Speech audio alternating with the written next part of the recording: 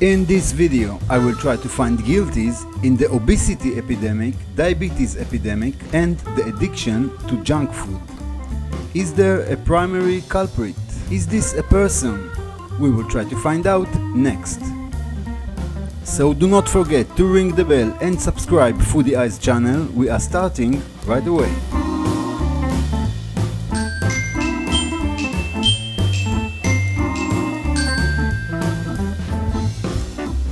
Is convenient to think that our passion for high sugar foods started about 10,000 years ago in our forefathers, hunters and gatherers. So we have a food industry that provides us all our little secret wishes. The food industry encourages us to consume more and more food. It convinces us that we are really hungry now. This is the role of this industry. Make us want more and more and buy more and more. Western countries led by the United States and Great Britain tripled their weight within 40 years. Why? Is it really the fault of the human hunter and gatherers? I looked for an answer and arrived to the United States of 1971 and to a president named Richard Nixon.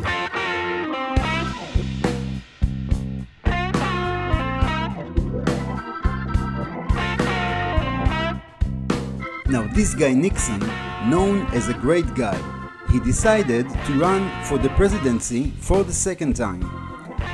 But there were many problems, that the first was the entanglement in Vietnam, a real mess.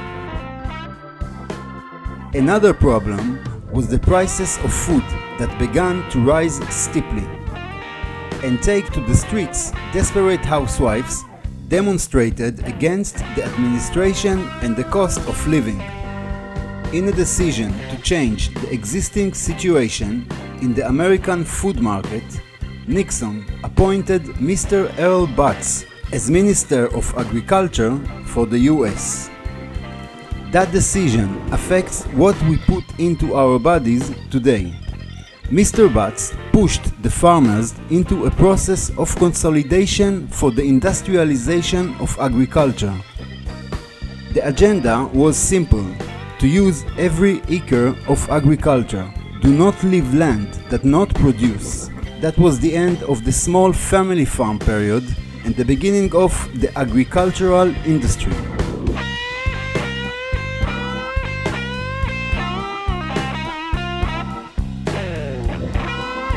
The goal was to flood the market with grains and take advantage of economies of scale and bring about a significant drop in the price of American food.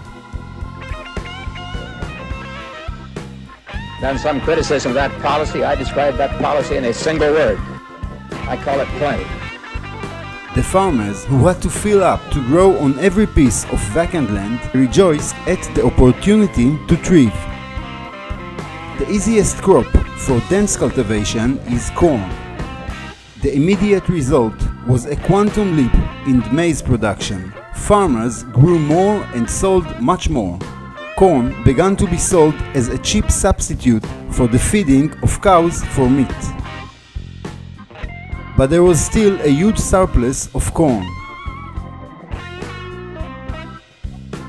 And as many times at this stage appeared the Japanese. In the mid 1960s, a Japanese scholar named Yoshiyuki Takasaki invented sweetener produced from corn, sweeter than sugar and cheap to produce than sugar. This is high fructose corn syrup, HFCS.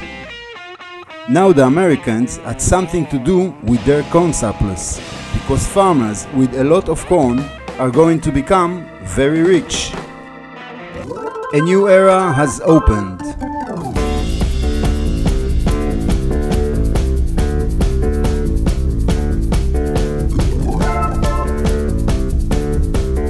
In a fairly fast process, fructose stormed into every American food. Bread, ice cream and every industrial sauce that was exist. it prolongs the shelf life of the products and is much sweeter and much cheaper than sugar. And why did it start the obesity epidemic and diabetes? Because while glucose is essential for any form of life, fructose breaks down in a completely different method. Specifically, a large part of the fructose is converted into fat that sits in the liver, increases blood pressure, increases the risk of heart disease, liver disease and diabetes. Especially if the fructose enters the body without dietary fibers, like Coca-Cola, which is why eating fruit is okay, because they contain a lot of fibers that facilitate the liver in the metabolic process of fructose.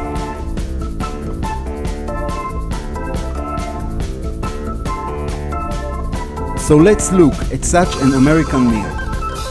Meat chopped with fructose over sweet sauce. This is a container containing a significant amount of fructose. And we did not mention the sweet ketchup as near the box of fries.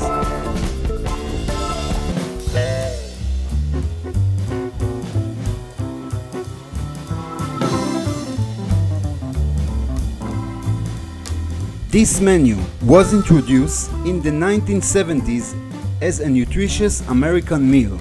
According to scientists such as Robert Lustig, this is also the exact time point in which the obesity epidemic began in Western countries, and with it the diabetes epidemic.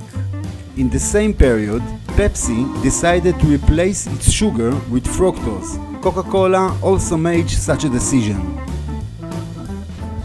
It simply saved them a lot of money and also made it possible to significantly lower price for their product.